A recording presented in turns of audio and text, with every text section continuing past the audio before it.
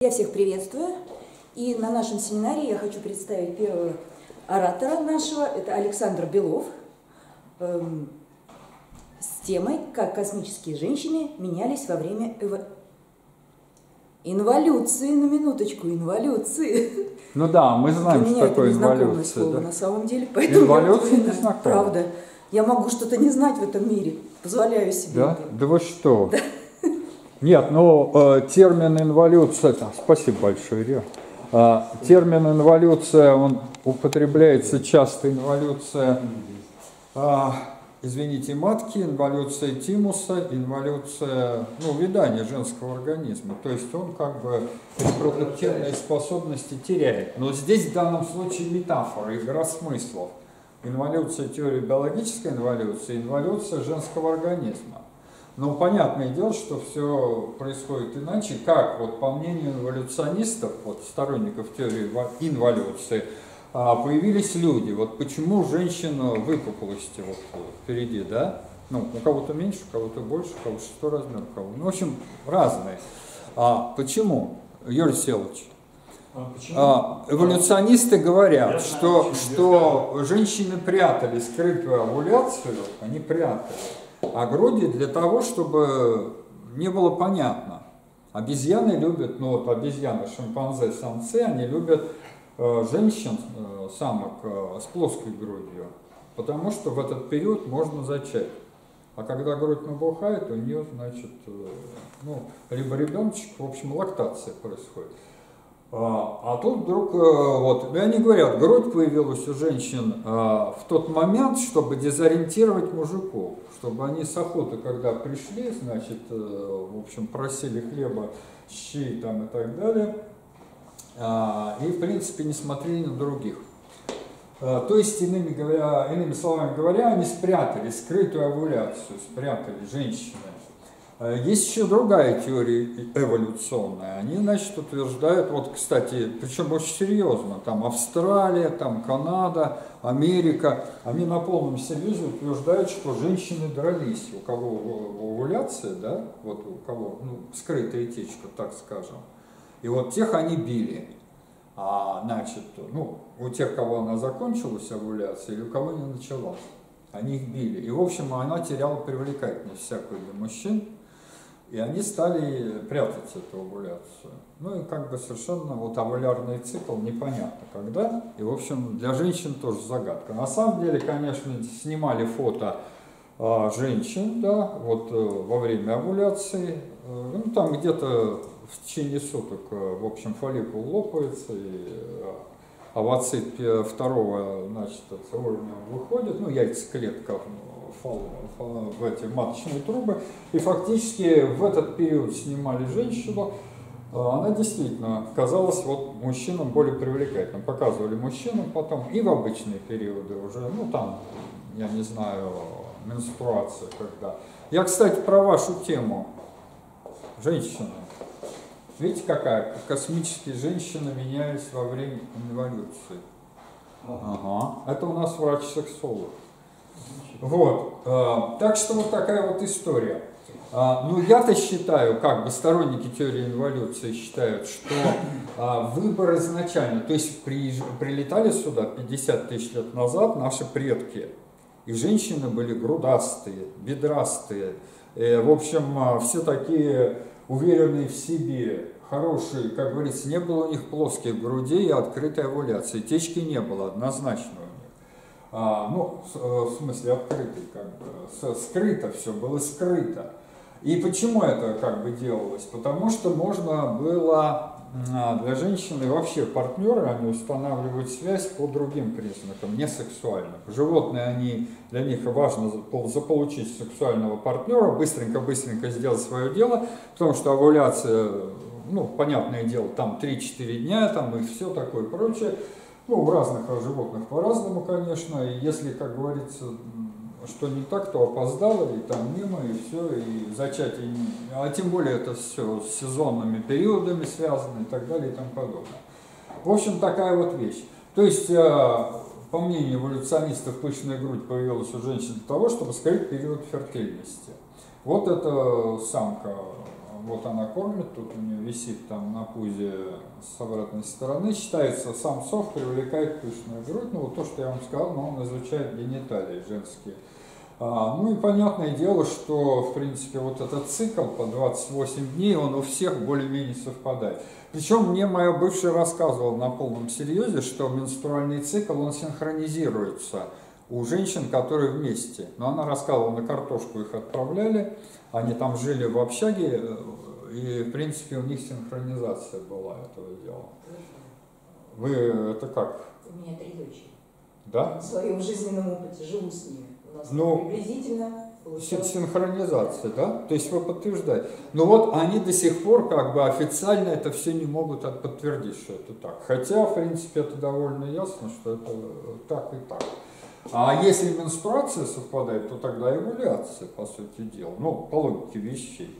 Ну, ясное дело. А можно я насчет синхронизации добавлю? У меня у мамы были собаки, и одна собака была беременна, а вторая сильно завидовала. Так вот, когда родились э, маленькие- Только вы погромче, ага. Когда родились маленькие щеня- щенята, и у одной и у второй было молоко. То есть на фоне того, что вот как раз синхронизация, вторая сучка синхронизировалась э, с той, которая родила. И они кормили обе грудью с- этих щенков.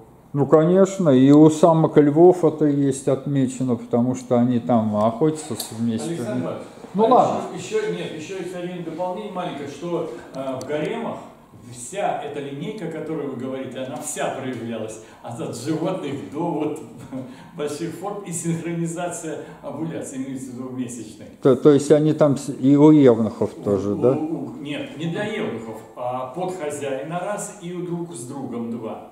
А, Да, понятно. это все действительно Вы проверяли, есть. Это такое есть. защитили кандидатскую по гарему. Даже могу, да, да, даже могу так сказать, что э, мужчины, у жены, есть, есть, я знаю, есть и три, и пять жен одновременно действующих, и две-три любовницы, то у них синхронизируются и циклы также. Он А доволен, если они не знают друг друга или знают?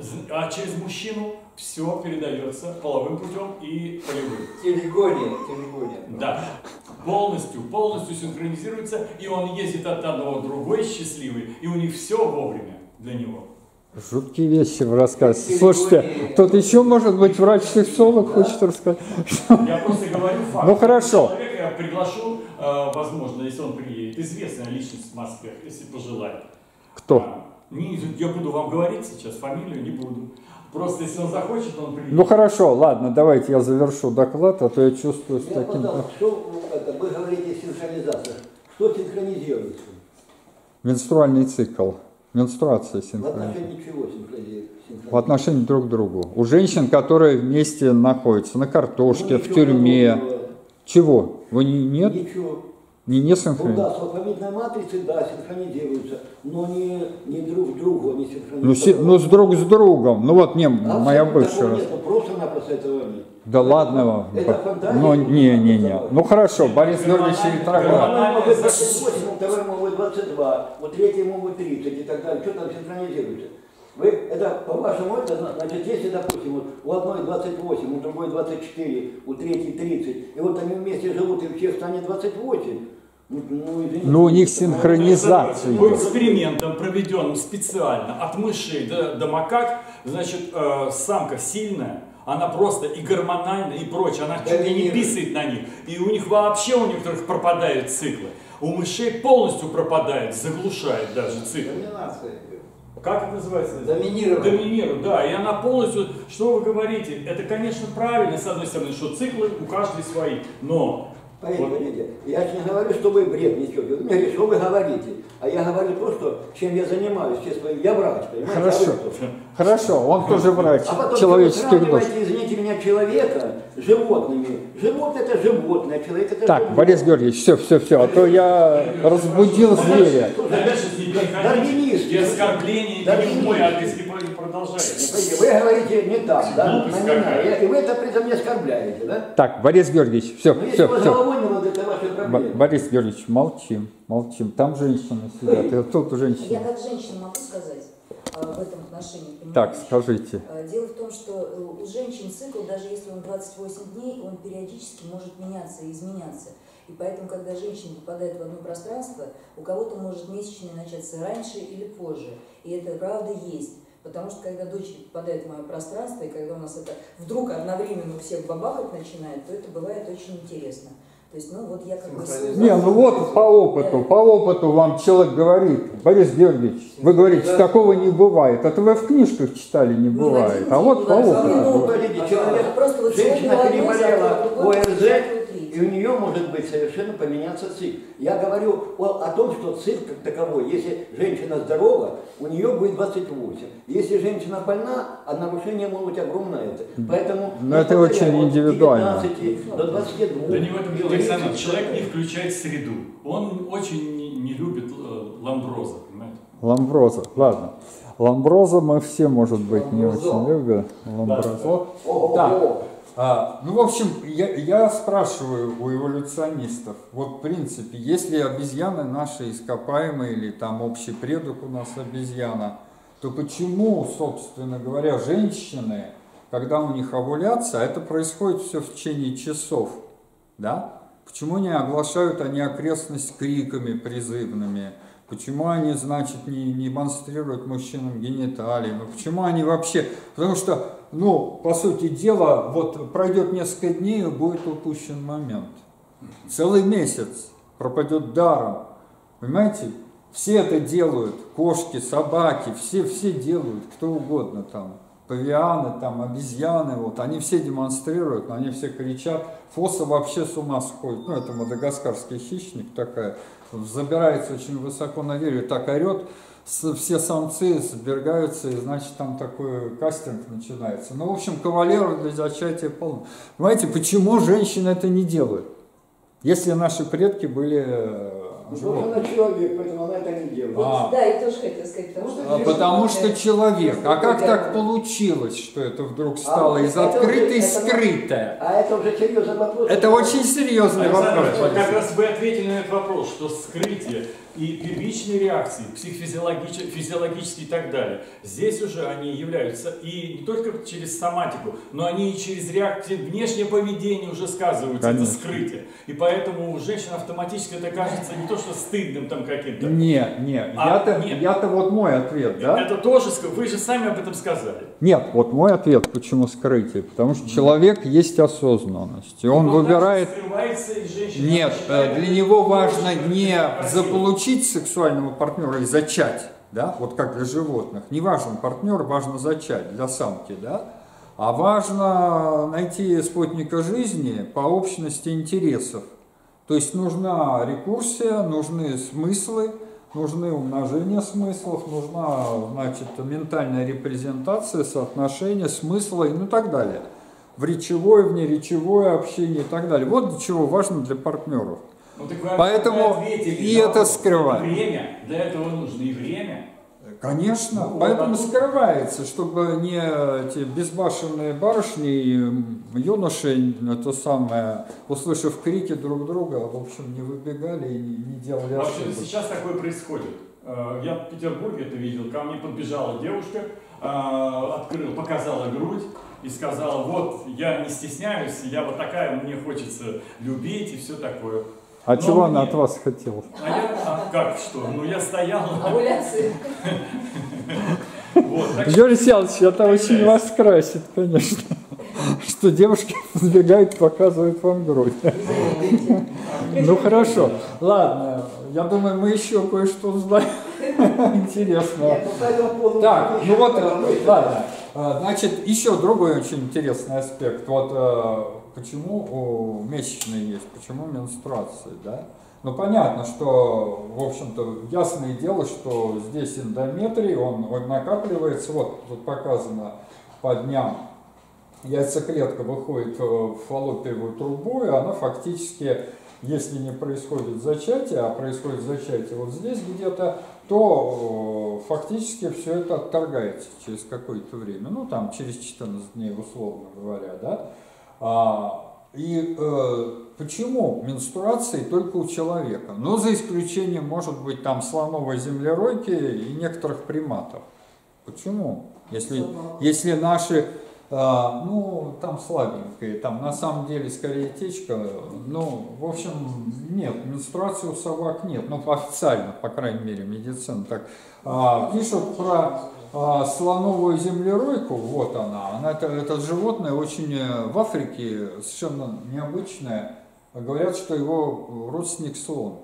Но на самом деле э, глупость полнейшая. Ну, она где-то 20-30 сантиметров на высоких ногах довольно-таки. Единственный хобот у них есть. И у слона этого. Но это не значит, что... Ну, в общем, ладно.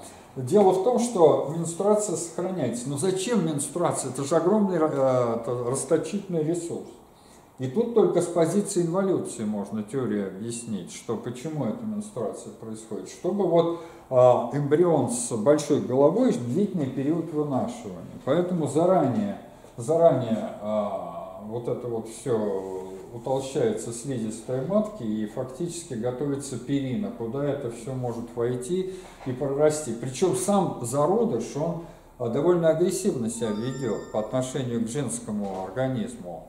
Он фактически использует это как паразит. Он просто внедряется, он разрушает сосуды, разрушает сосуды, перистальтика сосудов, она а, фактически уходит, перистальтика, и образуются такие озера крови, и он оттуда пьет эту кровь, этот зародыш пьет кровь и вбрасывает туда, наплевывает э, метаболиты и гормоны и управляет женским организмом. То ей хочется соленого, то сладенького, то иди, иди туда, пойди туда, принеси то, съешь то. То есть он начинает реально управлять ей, женщиной. И фактически спрашивается, у него что, мозг есть у зародыша? Это вот там а, развивающаяся активная яйцеклетка.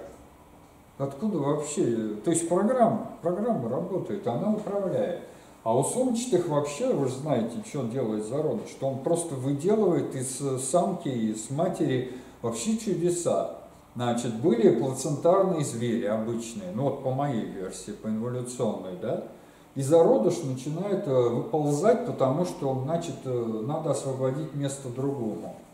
И он, в общем-то, недоразвитый, у него недоразвитые ручки, он ползет по а, специально вылизанной матерью такой дорожке к соску, он ползет и, значит, э, ручками вот этими цепляется, у него глаз нет, еще они недоразвитые. Ножки тоже недоразвитые, обрубки такие. И вот он ручками, и когда он к соску присобачивается, он срастается с ним, и все, и висит на нем. А потом начинает у них формироваться складка кожи, ну вот э, у женщин, которая его закрывает, чтобы он там не оторвался случае чего, когда она бегает и так далее. Постепенно сумка образовалась. То есть сумчатый вторично по отношению к плацентарно, понимаете? Вот такая вот вещь. То есть вот этот репродуктивный цикл, он там длится месяц рождения. Никакой плаценты вообще нет и в помине.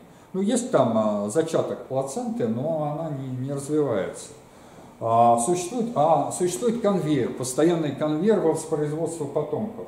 То есть, почему это было сделано? Чтобы а, вот эти зародыши как можно быстрее быстрее. То есть, одна, один на соске висит, другого она вынашивает, а, на диапаузу поставила его, то есть он не может родиться, пока а, третий зародыш, вернее, третий плод уже не выйдет из сумки и перестанет, а, в общем-то, пользоваться молоком матери. И вот такой конвейер все время. И когда лактация, она рожает, ничего у нее, никакой диапаузы нет и так далее. В общем, вот такая вот история. То есть вот что выделывает зародыш? Эволюционисты это вообще не видят вообще. Ну вот просто реально вот огромная, ну, а, я не знаю, ну, группа сумчатых животных, отряд целый, ну вот по сути дела, они не понимают вообще, как это происходит. Откуда они взялись? Они про какой-то естественный отбор говорят, который отбирает наиболее приспособленных. А, вот. А мне-то интересно, что вот когда бывшие люди теряют, э, значит, э, речь и смыслы, то у них, конечно, биология выходит на первый план, и, в общем-то, здесь уже, конечно, размножение, оно становится на самом главном. И действительно, дикие женщины, диких мужчин призывают криками на Саите, потому что им, и они чувствуют, они уже начинают чувствовать эту овуляцию. Вот, я не знаю, есть данные, что и современные женщины, они чувствуют где-то чего-то, овуляцию. Ну, как-то они, может, подсознать, ну, там, а, слизис, ну, это выделение матки, там они определяют по консистенции, да, но эти тесты такие известны, но они дают э, степень погрешности довольно-таки большую. А здесь, в принципе, э, все это в открытый режим. То есть кровь наполняется гормонами вот этой дикой женщины – Э, половыми, она просто орет, она зовет дикого мужчину, иди соединись, причем какой ближе, тот и приходит и соединяется. Чего? Чего вы говорите? Вот я и говорю, хорошо, жуткая вещь, просто жуткая вещь ну, происходит. Это, и это все эволюционисты просто не видят вообще в упор. Вот. А вообще, почему мы построили цивилизацию, эти трубы, заводы, эти фабрики? Кто-то знает вообще? Да потому что у нас есть рекурсия, потому что у нас есть смыслы, потому что мы умеем словами выражать свои мысли. Если бы у нас этого не было, мы бы ничего этих труб не построили. Можно? Можно. Я пред... могу предположить, почему женщины не орут, да. что им нужно срочно с кем-то совокупляться, потому что именно этим мы отличаемся от животных, потому что мы не будем совокупляться абы с кем-то, мы будем совокупляться с партнером, которого мы выберем э, в первую очередь душой и во вторую очередь для того, чтобы потомство продолжало хорошее гармоничное развитие, мы будем выбирать э, себе самца, который сможет это потомство содержать, обнять. Ну, мужчину, самца все-таки, да, поэтому... Сам, самец это такой животный. Ну вот мы просто, когда себя уподобляем животным, мы чуть-чуть э, э, теряем свой изначальный смысл, потому Конечно. что мы живем осознанно и душой, сердцем, сердечным Конечно. Поэтому мы не бегаем по улице, растряхивая Ну вот, вот, вот, вот, это вот э, камешек в огород эволюционистов, потому что они все время любят сравнивать там мышей с людьми, а с этих э, крыс а, с человеком. В общем, вот такая история.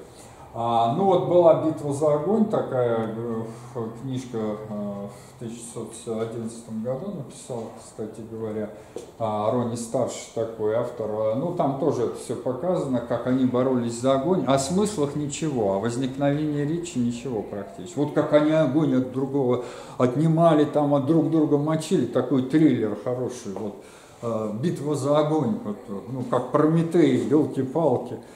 Извините, откуда они знали, что им огонь нужен, что там смысла в этом огне-то. То есть вообще вот такое впечатление, что какая-то извилина у эволюционистов не работает. Вообще не работает, реально. Да, но женщины, это, да. Это опять я, извините, да, да, да, нет, хорошо, хорошо. Потому что для меня Прометей дал людям не огонь живой, а он им душу дал. То есть он биоробот снабдил, ну это как бы я не претендую на истину в последней инстанции, но это моя позиция, что Прометей именно наградил душой, то есть соединением с Творцом. Этим мы отличаемся, собственно, от животных. Ну, конечно, конечно. Вот в том и дело. Короче, надо что-то с эволюционистами делать. Они забирают деньги и ресурсы. Ну вот логика начальных этапов гоминид по Лавджой. Лавджой, он изучал Ардипитекарамидуса, вот тут скелет, и вот они, он говорил, почему, на, в общем-то, началась скрытая овуляция у женщин. Да потому что, мол, дескать, и вообще, почему они распрямились, да, наши предки, ну, он эволюционист, еще раз повторяю. Значит, э, и почему уменьшились клыки? Угорел шимпанзе огромные клыки. Но ардипитекарамидуса, который жил 4,4 миллиона лет назад в Африке, тоже ну, большие, чуть меньше, чем угорел шимпанзе, но тем не менее. А, в принципе, они говорили, вот э, самцы стали носить пищу самкам. А чтобы носить, значит, вот много пищи, руки освободились и стали двухногими. А, значит, принесли самки пищу, она стала есть, значит, ей понравилось. А, она, значит, еще хочет пищи. А значит, овуляция, она в принципе не позволяет. Она в принципе а, позволяет как бы выбор делать в тот момент, когда это овуляция. А пищи хочется всегда. Поэтому, собственно говоря, они стали скрывать женщину эту овуляцию.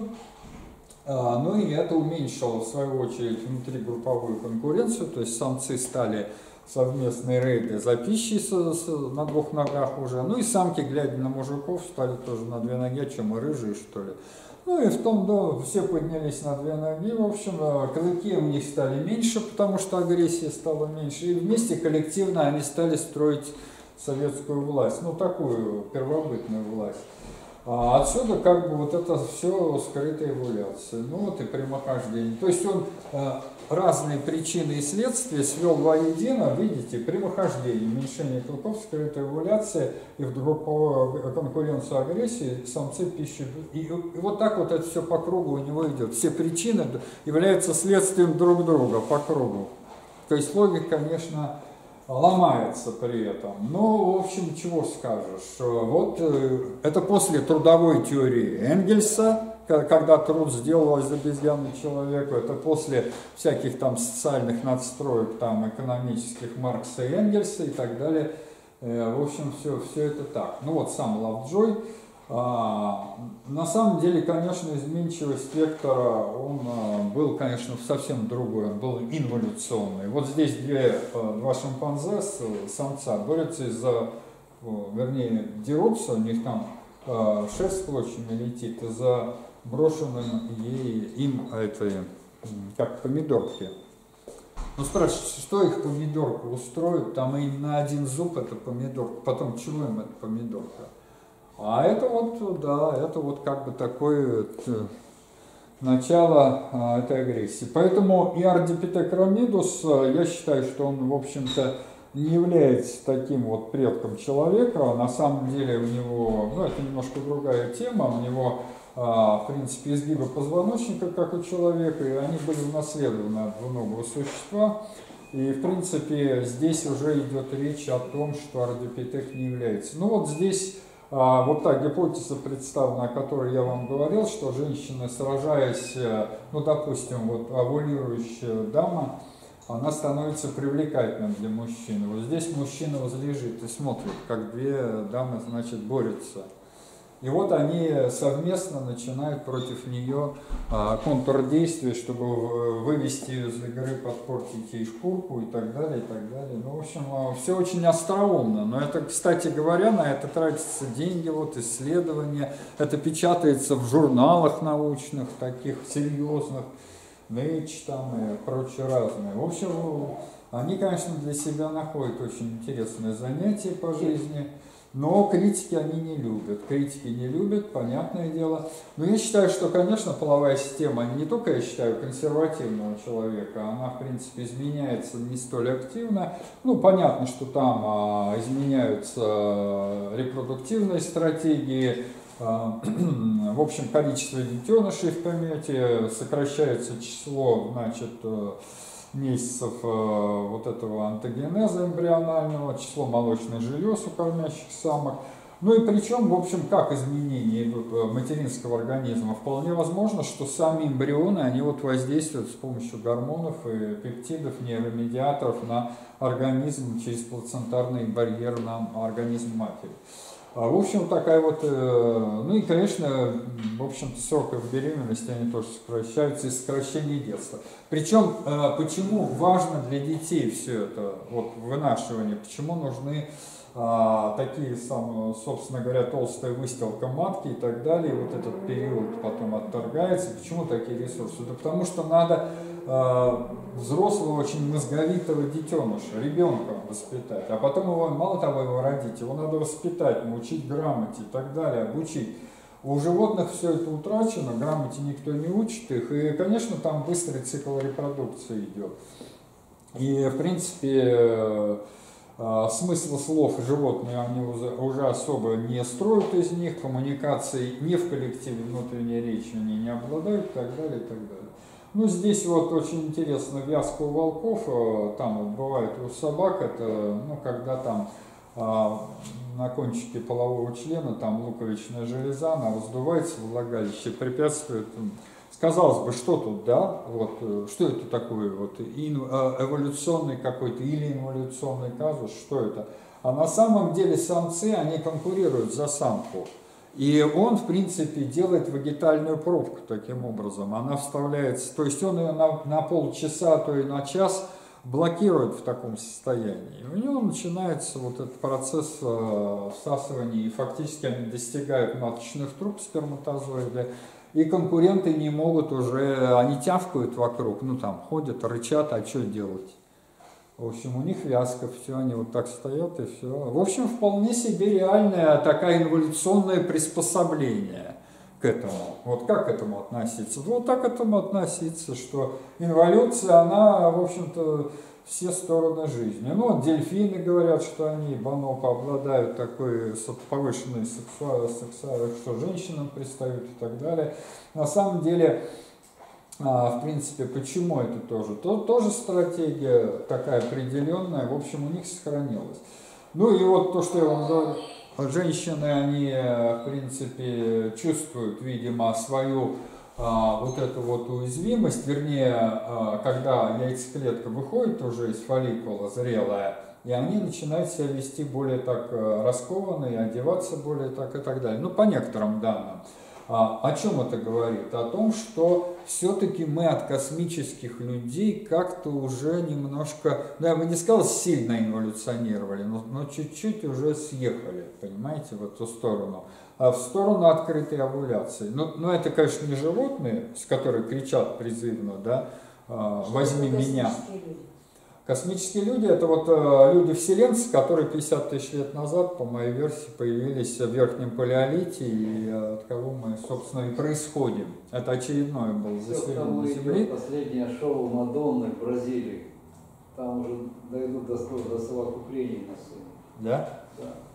Ну, это, я, это не удивительно, в принципе, ничего тут ну вот, э, как их, э, у нас-то инопланетянов все время, знаете, как-то трактуют, что они такие гадкие, такие, слюна течет, все течет.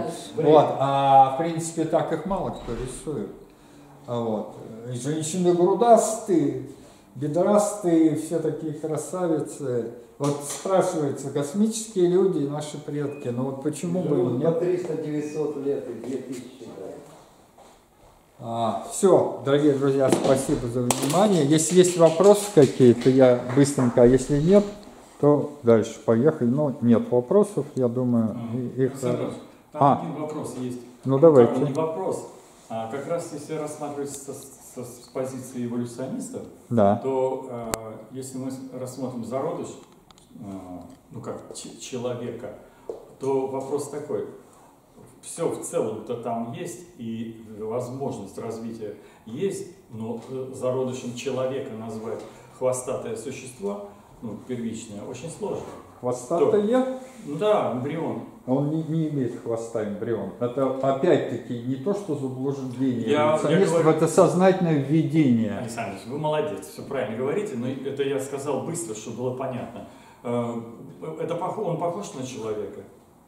А, ну, он похож, у него, Форма, у него 60, вот. похож. Форма. 60. Как, какой? Вот это вот, вот этот вот э, рыбка свернутая? Нет, это не рыбка. Вот, вот, вот, я пос... не про это, я нет, про внешний не, не, не, вид. Не, не, он что, не, не? Два, два, вот я вам говорю, полуторамесячный эмбрион человека имеет 60% массы а, мозга от массы тела. 60%. Вы видели вот э, такой вот эмбриончик, вот мне на кафедре показывали, да. а, вот такой эмбриончик, головастик, а, и он огромную голову, какая рыбка. Понятно. Где вы видели я рыбку про... с, а я, с такой раз... огромной головой? А я как раз и хочу вот про это. А потом попучный канатик, у какой рыбки? Mm-hmm. У редкой рыбки есть. Александр, вы правы. Так вот, он э, действительно вот такой, да? да. Но э, в нем же нет половых признаков в этот момент.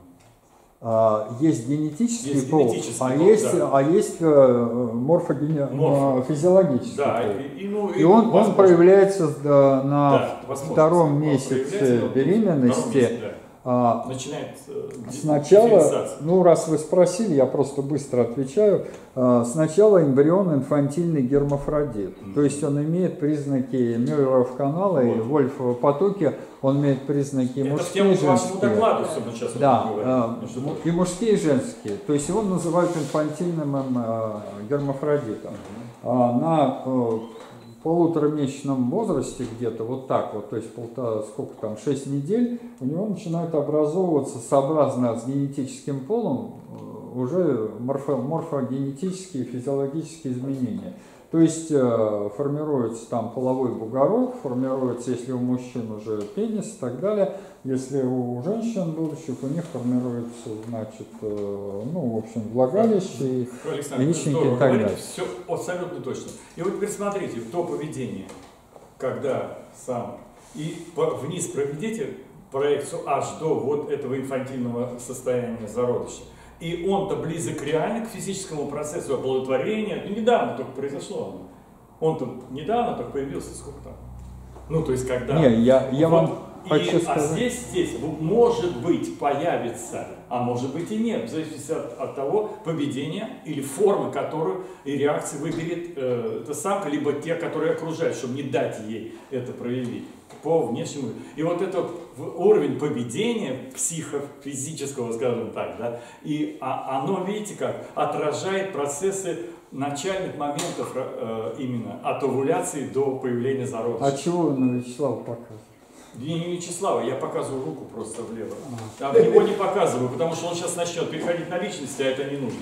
Так вот, значит, смотрите, вот этот момент всеобщности связи, он континуальный. А континуальность, по сути, это живое или, как сказать, э, Ю- физическое Юрий женщины. Собственно, Именно женского мышления. В общем, да здравствуют женщины, хоть сегодня 8 марта, в общем, рожайте, как говорится. не бегает за сперматозоидом. Не бегает. Нет. Не бегает. Что не бегает за... Яйцеклетка не бегает за сперматозоидом, чтобы оплодотвориться, поэтому не кричит. Нет, сперматозоиды Сперматозоид бегают за... оплодотворить. А я, а я что сказал? Да? Вопросик можно? Ну ладно, ошибся. Ну, если вы затронули этих космических, э, космического человека, да, то чем отличается, в принципе, вот этот космический человек, который там высадился как Ну вот, по моей Он версии, высадился. Ну, то есть, я сейчас, просто сейчас хочу подтвердить, действительно, инволюция в каком плане. Значит, вот эти космические люди испытывали оргазм или нет? Женщины, я имею в виду. конечно, конечно. А современная женщина испытывает этот оргазм? Ну, кто-то испытывает, кто-то... Ну, в этом аспекте, не, не, Я не думаю, Вы что эти переходите к телесности или э, к морфологическим признакам, да? Да. Там чем отличаются там? Нет, скорее всего, ведь фактически э, оргазм это информационное состояние, Да, да. Вот я, я поддержу если, Бориса. э, нет, да. и учитывая, что космические люди, они интеллектуально более развитые были, деградация тут произошла, то есть высокоинтеллектуальные пришли сюда и прошло там несколько тысяч лет, и фактически вот человек современный, да, превратился в примата, то есть примитивный человек. Ну еще не А признаком того, что он примитивизировался, это у женщин отсутствие оргазма. Может, я уже на эту тему, по-моему, это? столько лекций прочитал. То есть существующие женщины, они анаркосмичная цивилизация, Вавилонская блудница. Но он она обобщает, обобщает, обобщает. Он. Это Вот, еще- от вот в этом плане, в этом Это плане женщина. инволюцию. Да, то есть инволюционирует в интеллектуальном плане. Морфологически вроде бы все есть. И сиси, и писи, и жопа, все вроде бы есть, да? Попка, попка, не говори, Только то оргазма, дети. оргазма нет. Оргазма нет. Оргазма нет, да. Оргазма как не было, так нет. Нет, ну Так, отрицают. Я еще по этому поводу скажу. Женщины прям, ну как, ты там специалист, что там это соображаешь. Да это вы, не, женщины не соображают, потому что дебильные приматы. Вот и все. ну хорошо.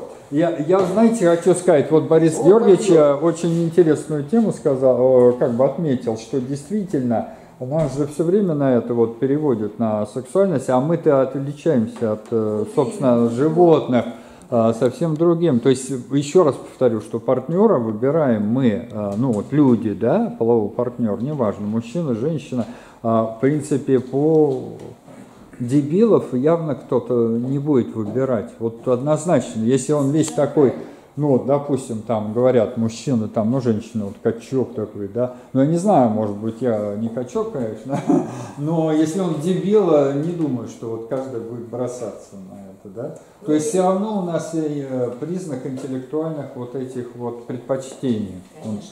Недавно я здесь услышала эксперимент номер 25, и, наверное, вы его знаете, я могу где-то ошибаться, под- подправьте, если что. Э, Эксперимент проводился, по-моему, на мышах. С крысами. С крысами. Ну, в Нет, общем, не ну, Опять крысы. приходят крысы. сейчас, нет, ребята. сейчас, я, сейчас я расскажу, в чем разница. Вот именно Какая я, разница? я Крыса разнице крыса. хочу сказать как раз. И вот эти крысы, поместили в идеальные условия, когда у них была еда и все на свете. Первое, что они начали делать, э, пребывая в прекрасных э, условиях, они начали совокупляться.